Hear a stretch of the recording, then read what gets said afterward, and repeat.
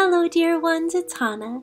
So, a couple of days ago, I think it was on Sunday, maybe the 2nd of November, or the 1st of November.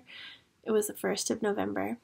I had this meditation um, experience in my labyrinth, which I'll tell you about um, in another video. But uh, we were out, I was out in the labyrinth meditating, and I had this experience that came through that I thought might apply to many of you out there because I think a lot of the people that are drawn to this work that we do and watch these videos um, are also light workers, are healing and looking inside and expanding. Um, and so this meditation came through about um, the need to hold the light, anchor the light, and be pillars of light in this time. So I hope you enjoy it. I was standing in the center of the labyrinth here doing my meditation, and I was called to stand instead of sit, which I thought odd, as I most often can be found sitting anywhere on the floor or ground. I just really like to be grounded. I like that feeling. So I was shown and told that it's time for us to be pillars of light. They said it's about to get really chaotic and crazy, and that people like us are needed to be pillars of light in this time. They likened it to when a child is having a hard time and you just hold them and breathe into your heart, and soon you both find yourself in a deep sense of peace.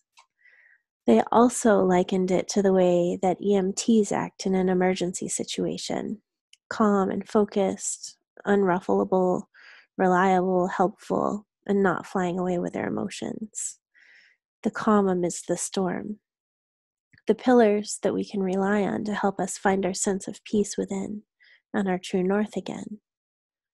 This is who we are all going to be, holding the steadfast peace and love energy that those in the chaos will attune to in order to find their way back to center again when they're done with the chaos, like interacting with or being in the chaos, when they're ready to let that go and find their center. So they said, We're holding this energy, we're anchoring that energy here for the future timeline to be built upon. So beautiful. So I just wanted to share that in case it resonates for any of you, other lights out there as well. So that was my meditation.